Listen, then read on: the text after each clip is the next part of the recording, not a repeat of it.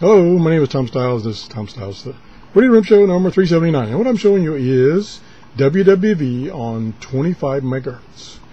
And I made in a cable so that I could hook up the external antenna on this Eton 550 in the back using an F connector uh, cable and it goes to my switch and I have an adapter to adapt to the switch and then I'm using my uh, outside antenna to receive the signal.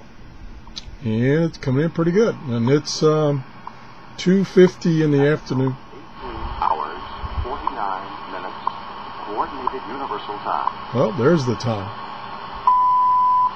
And it's coming in it's, it's fading in and out so it gets strong for a while and then it fades out. But it's coming in really good right now hear the ticks real good? Now watch what happens when I switch to my uh, internal antenna telescopic antenna. You don't hear the ticks know all you hear is noise. All you hear is noise and of course that's due to my monitor my, the lights my webcam actually a couple of computers that are in this room going so you really need if you got an environment like I have you really need an external antenna that brings the antenna in through a shielded cable.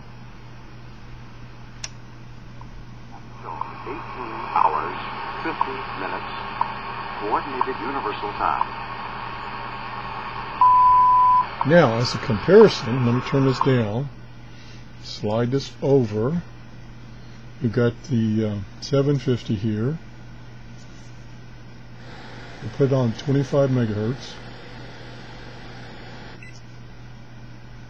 And we'll switch the antenna over to it. Now it is picking up a buzz there. And the S meter S meter is zero.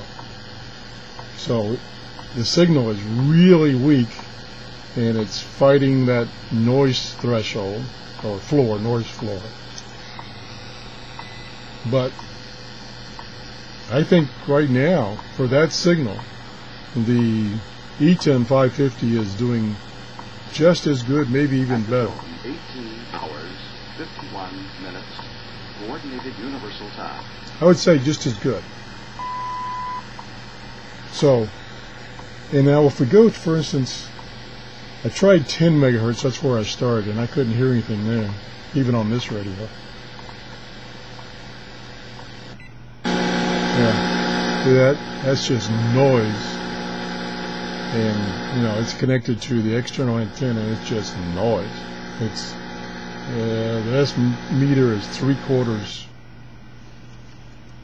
So I just wanted to show you that and gives you another example of using an external antenna and this new Eton 550 is doing a very good job of reception you know it using that external antenna it was on a par with the 750 pretty close to the same. Of course conditions changed slightly but right now it was quite strong so they sound about the same.